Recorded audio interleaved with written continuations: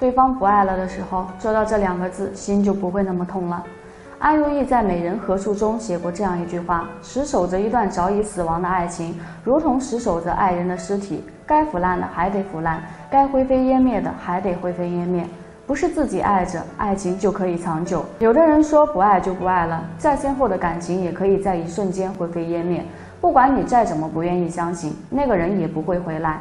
人世间的感情夹杂太多的无奈和遗憾，正因为这些失去和不舍得，才让真爱显得那么可贵。所以，对方不爱了的时候，不必抱怨，也不必不舍。放下或许很难，但你迟早会明白，他只是你人生中的一个过客。他的存在是为了让你明白，什么样的爱情才是真正的爱情，什么样子的人才是值得你付出全部的自己。没有人可以保证一段感情可以长长久久，没有人可以保证对方不变心。有的时候，不管你付出多少，对方的心想变就变，而你能做的只有接受。我知道放下很难，你曾经付出了全部的真心，又怎么是说放下就能放下？即便外表再如何的云淡风轻，内心都是痛苦不堪。不管是男人还是女人，都没有办法保证自己在一段感情中全身而退。在爱的人面前付出越多，结束时就越痛苦。而你唯一能做的，就是在对方不爱的时候做到这两个字，心就不会那么痛了。对方不爱的时候做到不想，心就不会那么痛了。当那个你爱入骨髓的人离开以后，曾经的一幕一幕总会展现在你眼前，让你痛苦不堪。可不管心中有多少不舍，过去了的感情不会再回来，那个离开你的人。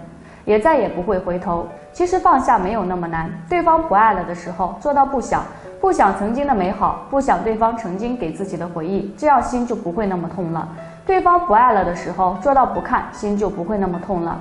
当那个曾经发誓会爱你一生的男人头也不回的离开你以后，你的生活里会留下对方很多东西。这些东西会时时刻刻提醒曾经的一切，让你痛苦不堪。可是有些东西留着只会徒增伤悲，让你永远走不出这段感情带来的伤痛。所以，对方不爱了的时候，你要做到不看，把关于对方所有的东西都搬离自己的生活，扔掉曾经送你的礼物，删掉曾经在一起的照片，看不到曾经美好的一切，这样心就不会那么痛了。对方不爱的时候，就做到不问，心就不会那么痛了。当爱你的人离开以后，很多人都没有办法做到对对方不闻不问。即使对方离开的那么绝情和彻底，依然还是会关注对方的一举一动。可这样的看不开，反而会让自己越来越走不出来。对方不爱的时候，你应该做到不问，不问对方的一切，不问两人之间还有没有可能。这样你会慢慢习惯，习惯一个人的生活，心就不会那么痛了。感情不一定就可以长长久久，很多人走着走着就散了。不是爱就可以解决一切，有时候再爱一个人都不能保证对方一直和你在一起。